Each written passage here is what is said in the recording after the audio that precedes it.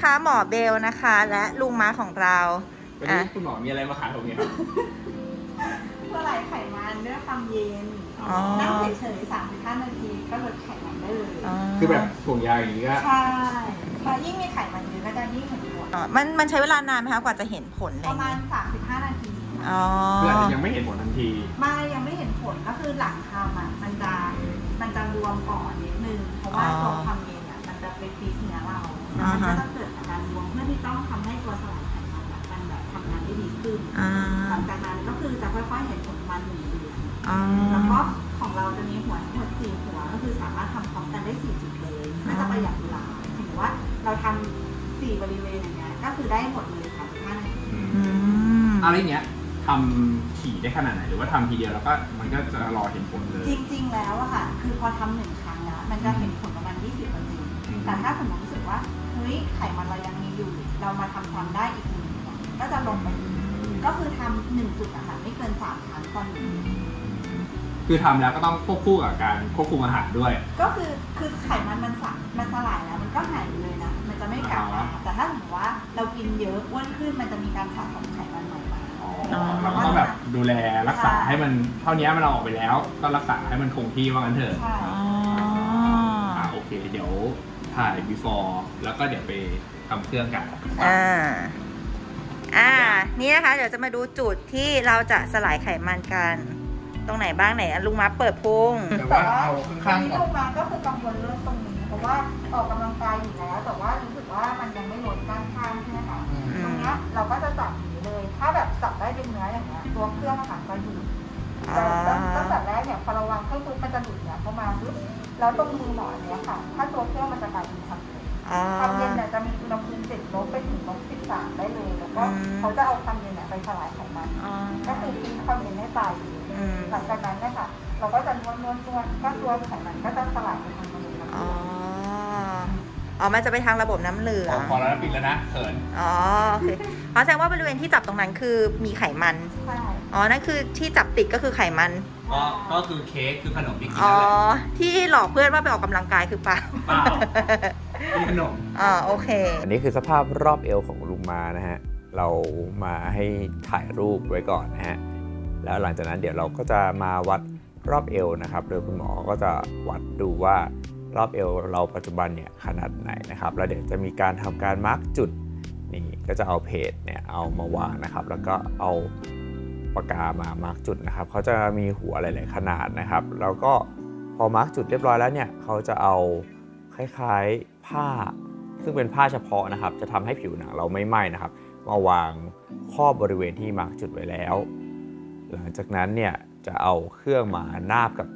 บริเวณที่เรามาร์กจุดนะครับ ก็จะเป็นเครื่องลักษณะนี้นะครับ หลังจากที่เครื่องมันดูดบริเวณที่เขามาร์กจุดไว้แล้วนะครับเขาจะทำการปล่อยความเย็นซึ่งความเย็นเป็นแบบติดลบนะครับ เพื่อให้ไขมันเนี่ยมันรวมตัวกัน ใช้เวลาทำเนี่ยประมาณ 35 นาทีนะครับเสียงมันดังตอนนี้เราก็เริ่มทำการดูดไขมันสองข้างนะคะอ่าฮะเราเรียกว่าเลิฟแฮนเดิลภาษาทางการแพทย์คือตรงที่เราจับเลย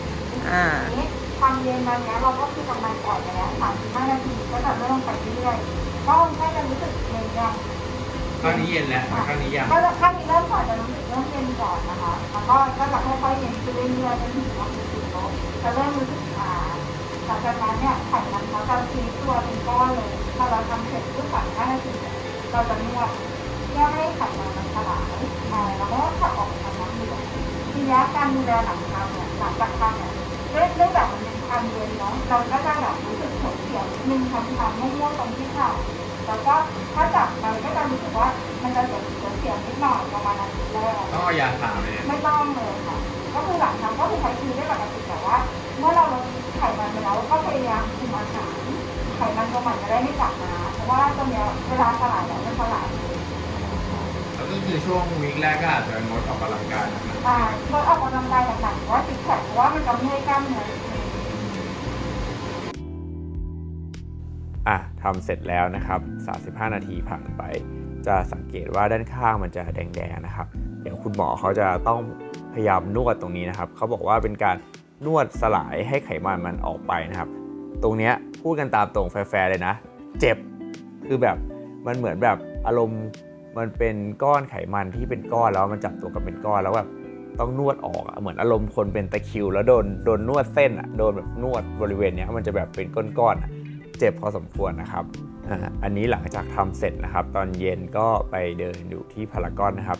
ถ้าใครเห็นสภาพนี้ก็อาจจะคิดว่าเราไปโดนอะไรชนมาแน่ๆนะครับ มันแบบเป็นวงช้ำค่อนข้างใหญ่ ก็ถ้าใครจะลองทำนะครับ ก็สามารถไปปรึกษาคุณหมอเบลก่อนได้นะครับ ว่ามันจะต้องมีการเตรียมตัวอะไรยังไงบ้าง ควรทำหรือไม่ควรทำนะครับ อย่างตัวลูม้าเองเนี่ยจริง ๆ แล้ว รอบเอวเนี่ยถ้าคุมอาหารดีๆ แล้วก็ออกกำลังกายอย่างสม่ำเสมอ มันก็ไม่ต้องทำก็ได้ แต่ว่าวันนั้นอะเครื่อง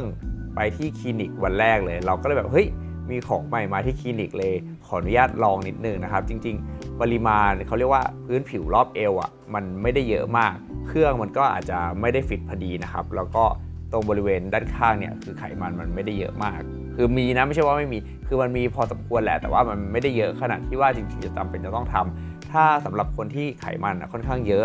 เครื่องมันจะวางและแนบแนบชิดกว่านะครับ มันก็จะดูดดูดเสร็จปุ๊บมันก็จะปล่อยความเย็นมาแล้วหลังจากนั้นก็นวดบริเวณนั้นเพื่อให้ไขมันสลายไปนะครับอะเดี๋ยวมาดูรูปหลังจากที่เราทำเครื่องนี้ไปประมาณ 2 อาทิตย์นะครับ อันนี้คือรูปบริเวณด้านหน้าจะสังเกตว่าเอวค่อนข้างหายไปนี่เดี๋ยวให้เทียบดูนะครับกับอีกรูปหนึ่งอันนี้คือรูปก่อนทำนะครับ อ่าแล้วเดี๋ยวให้ดูด้านข้างนะครับ ด้านข้าง หลังจากที่ทำแล้วนะครับ มาเปรียบเทียบกับด้านข้างอะให้ดูแล้วกันว่ามันจะประมาณนี้นะ ถ้าถามโดยส่วนตัวนะแฟร์เลยก็คือ การคุมอาหารออกกำลังกายเป็นหนทางที่ดีที่สุดนะครับ แต่ว่า